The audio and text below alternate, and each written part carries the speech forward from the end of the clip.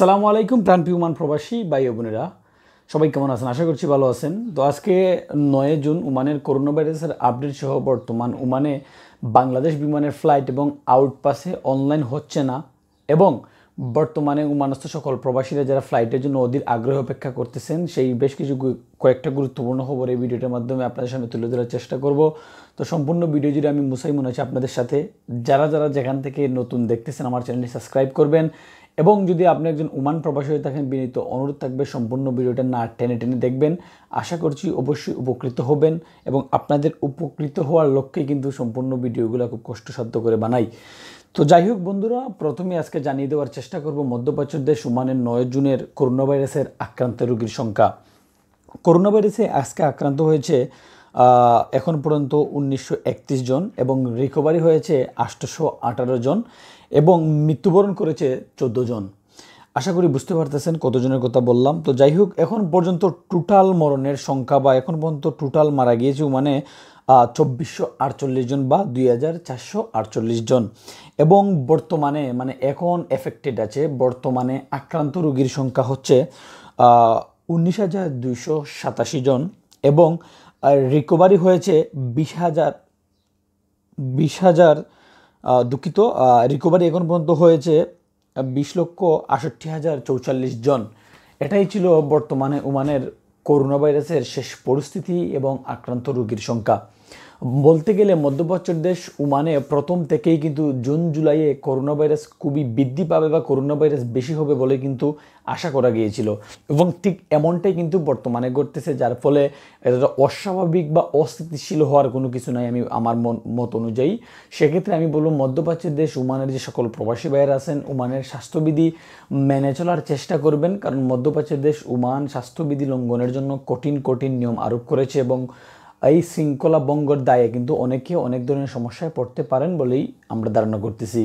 তো যাই হোক ওমান প্রবাসী ভাই বোনেরা, প্রথমে আপনাদেরকে জানিয়ে দেওয়ার চেষ্টা করব, মধ্যপ্রাচ্যের দেশ, ওমানের প্রবাসীরা এখন সবচেয়ে বেশি যে জিনিসটার জন্য মেসেজ করে আমাকে বা বিভিন্ন জায়গায় একটা হর হামেশা হয়রানির মধ্যে দিন কাটাচ্ছে, সেটা হচ্ছে, আউটপাসের ফরম অনলাইন হচ্ছে না, তো এখন কি করার? প্রথমত আমি বলে নিই, মধ্যপ্রাচ্যের দেশ ওমানে বেশ কিছুদিন যাবৎ কিন্তু ওমানের যে আউটপাসের যে সমস্যাটা কিন্তু অঘোষিত সময়টা কিন্তু বন্ধ হয়ে গেছে বা শেষ হয়ে গেছে। এখন যাই আছে সমস্যাটা হচ্ছে ওমান থেকে মুভ করার জন্য আপনারা একত্রিশ জুন পর্যন্ত সময় পাচ্ছেন। তারপরে আবার ট্রাভেল পারমিটের মেয়াদ থাকলেও যেতে পারবেন না, মেয়াদ থাকলেও না থাকলে তো যেতে পারতেছেনই না, থাকলেও তারপরে যেতে পারতেছেন না। তার জন্য বলব, মধ্যপ্রাচ্যের দেশ ওমান প্রবাসীরা যারা ট্রাভেল পারমিট যাদের কাছে আছে বা যারা যারা এখন পর্যন্ত যাইতে চাইতেছেন দেশে কিন্তু নানান জটিলতা বা নানান সমস্যা ভেবে যাইতে পারতেছেন না বা যাওয়ার কথা চিন্তা করতে পারতেছেন না। তাদের উদ্দেশ্যে বলব, আপনারা আমার দৃষ্টিতে মনে হয় এখন খুব বর্তমানে সবচেয়ে বেশি আপনাদের জন্য প্রযোজ্য জিনিস হচ্ছে ট্রাভেলসের সাথে মুখোমুখি হওয়া। যে যেখানে আছেন, সেখানে সালালা থাকতে পারেন বা মাসকাতে থাকতে পারেন, সুরে থাকতে পারেন নেজবো থাকতে পারেন, যেখানেই থাকেন না কেন, আপনাদের সবার আগে এদিক এদিক ঘুরাঘুরি না করে সবার আগে এম্বাসির দ্বারস্থ হওয়া উচিত। কারণ আমি এখন জানি এটা যে ট্রাভেল পারমিটের মেয়াদটা বাড়াইয়া দিলেই সেটা যেতে পারবে, কোনো ধরনের সমস্যা হবে না। কিন্তু আমার এই কথা শোনার কোনো দরকার নাই। আপনারা সুজা এম্বাসিতে যাবেন, যেহেতু পদক্ষেপটা এম্বাসির আউটপাসের সকল প্রসেস ওমান সরকারের, আর যে প্রতিনিধিগুলো সিভিলাইজেশন যে প্রতিনিধিগুলো আছে, তারাও কিন্তু এম্বাসির সাথে সম্পৃক্ত বা এম্বাসির সাথে কথা বলেই কিন্তু তারা নিয়মকানুন করে। তো আমার অনুরোধ থাকবে আপনাদের কাছে যে আপনারা দয়া করে এদিক এদিক অমুক ভাই তমুক ভাইয়ের মেসেজ দেওয়া থেকে, বিরত থেকে আপনারা চলে যান সরাসরি এম্বাসিতে এম্বাসিতে গেলে কী হবে জানেন? এক নম্বরে আপনারা এই সমস্যা থেকে মুক্তি পাবেন। দুই নম্বরে হচ্ছে যে যেখানে যে অবস্থায় আছেন, আপনার ট্রাভেল পারমিট হোক বা ইমিগ্রেশন অফিস ফেস করার জন্য আপনার কোন ফর্ম রাখতেছে বা কীভাবে দেশে যাবেন, সব ধরনের এ টু জেড গাইড আপনারা এম্বাসি থেকে পেয়ে যাবেন।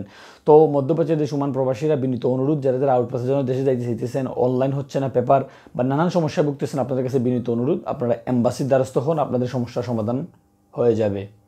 এবং আরেকটা বিষয় আপনাদের মাঝে মধ্যপ্রাচ্যের দেশ, ওমান প্রবাসীদের মধ্যে সবচেয়ে বেশি সমস্যায় ভুগতেছেন, সেটা হচ্ছে বাংলাদেশ বিমানের ফ্লাইট নিয়ে। তো বাংলাদেশ বিমানের ফ্লাইটে ফ্লাইট নিয়ে সমস্যা থাকার চেয়ে সবচেয়ে বেশি সমস্যা আছেন আপনারা যে, আসলে ফ্লাইট যে বাংলাদেশ বিমানের চালু হয়েছে, এখন আমরা তো আগে টিকিট করেছিলাম, আমাদের টিকিটের ডেট শেষ, আমরা পাঁচ তারিখ করেছিলাম, আজকে নয় তারিখ চলে যাচ্ছে, তো কীভাবে, কি হবে, না হবে? বিমান কর্তৃপক্ষর কথা অনুযায়ী, বাংলাদেশ বিমানের কর্তৃপক্ষের কথা অনুযায়ী, বাংলাদেশ বিমানের রেগুলার ফ্লাইট যখন ওমানের সাথে চালু হবে তারপরে বাংলাদেশস্থ সকল প্রবাসীদেরকে উমানস্থ না। যেই দেশগুলোতে ফ্লাইট বন্ধ ছিল, সেই দেশগুলোর সাথে যখন বাংলাদেশ বিমান ফ্লাইট পরিচালনা করবে, তারপর যারা যারা যতজন প্যাসেঞ্জারে ওদের কাছ থেকে টিকিট নিয়েছিল এবং যাদের রিইস্যু করার প্রয়োজন সব কিছু বাংলাদেশ বিমানের কর্তৃপক্ষই কিন্তু দায়বার নিবে এবং তারা তাদের নিজ নিজ দায়িত্বে তারা আপনাদেরকে সবাইকে এই কাজটা করে দিবে। তার মানে হচ্ছে এটা যারা যারা এখন পর্যন্ত বিমানের টিকিট কেটেছিলেন বাংলাদেশ বিমানের দেশে যাওয়ার জন্য, দেশে যেতে পারেন নাই, তাদের জন্য সবচেয়ে বড় সুখবর হচ্ছে এই পদক্ষেপটা আপনাদের জন্য নেওয়া হয়েছে। যাদের টিকিটগুলা মেয়াদ চলে গেছে বা আজকে করেছেন, কালকে আপনার মেয়াদ শেষ হয়ে গেছে, তাদের জন্য বাংলাদেশ বিমান কর্তৃপক্ষ থেকে বেশ কিছু নিয়মারূপ জারি করা হয়েছে, যেগুলোর মাধ্যমে আপনারা অনায়াসেই আপনারা যেতে পারবেন। বাংলাদেশে বা কোনো ধরনের সমস্যা হবে না বিমানের টিকিট নিয়ে। কারণ, যেহেতু বাংলাদেশ বিমানে টিকিট করেছেন, সেই জন্য তাদের, তারাই কিন্তু কর্তৃপক্ষ, তারাই কিন্তু দায়ী হচ্ছে এই ব্যাপারটার জন্য। তো আশা করছি উমানস্থ সেই সকল প্রবাসী ভাইরা টিকিট কেটেছেন এবং ভোগান্তিতে ভুগতেছেন যে আদৌ যাইতে পারব কি না পারব, তারা কোনো ধরনের সমস্যা হবে না, বিশ্বাস করি আমি। এবং আপনারা যে যে ট্রাভেলস থেকে টিকিট নিয়েছেন, সেই ট্রাভেলসের আওতাভুক্ত, সেই ট্রাভেলসের আন্ডারে চলে যান। সেই ট্রাভেলস আপনাদেরকে বলে দিতে পারবে যে আসলে প্রসেসটা কীরকম। যেহেতু আমি নিজে একটা ট্রাভেলের সাথে আছি বর্তমানে এবং দেখা যাচ্ছে এখন পর্যন্ত বাংলাদেশ বিমান চালু করল, বাংলাদেশ বিমানের প্রসেসগুলো এখন পর্যন্ত চালু হয় নাই। প্রসেস মতলব হচ্ছে সিস্টেম যেভাবে টিকিট কাটতে হয়, যেভাবে টিকিটের সব প্রসেসিংগুলো চালিয়ে যাচ্ছে হয়, সেই প্রসেসিংগুলো কিন্তু এখন পর্যন্ত চালু হয় নাই। তো তার মানে হচ্ছে এই সিস্টেমটা এখন বলা বহুত মুশকিল কবে চালু হচ্ছে, না হচ্ছে। বা সিস্টেম যেহেতু বারো জুন থেকে একটা সম্ভাব্য ডেট ধরা হচ্ছে যে বাংলাদেশ বিমান ফ্লাইট পরিচালনা করবে, হতে পারে। তো সেক্ষেত্রে আমি বলব আপনারা বারো জন পর্যন্ত অপেক্ষা করুন এবং বারো জনের আগ পর্যন্ত যাদের যাদের টিকিট সংক্রান্ত কোনো জায়জামেলা ছিল বা টিকিট নিয়ে কোনো সায় সমস্যা ছিলেন, আপনারা অপেক্ষা করুন। বাংলাদেশ বিমানের যে কর্তৃপক্ষ আছে, তারাই কিন্তু আপনাদেরকে এই ধরনের সমস্যা থেকে উত্তোলন করার চেষ্টা করবে। হেজ এ প্যাসেঞ্জার হিসাবে, যেহেতু আপনারা তাদের প্যাসেঞ্জার তো যাই হোক, আশা করি যারা যারা টিকিট কেটে ভোগান্তিতে ভুগতেছেন, তারা আসলে আর অযথা টেনশন করবেন না। আমার দৃঢ় বিশ্বাস আপনারা অযথা টেনশন করে শুধু শুধু নিজেদের সমস্যা ফেলাবেন না, এটা বিশ্বাস করতেছি আমি। তো যাই হোক বন্ধুরা, সর্বশেষ যে জিনিসটা সম্পর্কে আপনার সাথে আলোচনা করতেছে, সেটা একটা লজ্জাজনক বিষয়। হোম কোয়ারেন্টাইন নামে বাংলাদেশের মধ্যপ্রাচ্যের দেশ উমান প্রবাসীদের সাথে যে ধরনের চিনিমিনি খেলা হচ্ছে তারা সত্যি আসলে এটা বহিরাগত এবং সত্যি সেটা আসলে লজ্জাজনক আমাদের প্রবাসীদের জন্য। কারণ হচ্ছে আমরা আসলে দিন শেষে আমরা প্রবাসীরা সত্যি খুবই খুবই খুবই একটা খারাপ পরিস্থিতি দিয়ে আমরা যাচ্ছি। যেখানে আমরা এক টাকা রুজি করতে, একটা রিয়েল ইনকাম করা কতটা কষ্ট সেটা আমরা জানি ভালো করে। তো সেক্ষেত্রে আমাদের এই কষ্টটা বোঝার মতো কেউ নাই। যার কারণে আমাদের সাথে সবসময় এরকম দুর্নীতি করা হয় কোয়ারেন্টাইন থেকে ধরে বেশ কিছু সেক্টরে আমাদের সাথে দুর্নীতি করা হয় প্রবাসীদের সাথে। তবুও কিছু করার নেই, দিন শেষে প্রবাসীরা বড় অসহায়।